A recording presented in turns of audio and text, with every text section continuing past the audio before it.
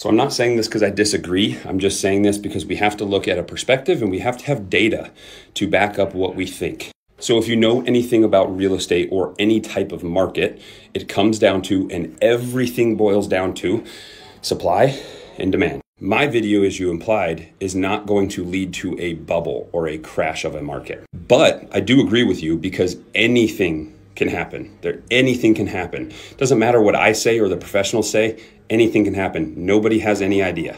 But throwing out blatant comments like this, we need to kind of chat about it because I don't know if you understand the basics of real estate. Everything boils down to supply and demand. So if you think there's a bubble or a market crash or something like that, where is the overarching supply going to come from? Who is going to sell their houses to flood the market and crash it? Because people that have 2 to 5% interest rates, they aren't selling their place. And that's backed up with data. So if they aren't selling their place, where is the supply going to come from to crash the market? Do you see what I'm saying here? We can't just have a market crash just because we think that there's a market crash. Because in every time period of the world, everybody has said, oh, the market's gonna crash, oh, the market's gonna crash. You need a massive overarching supply to crash that market.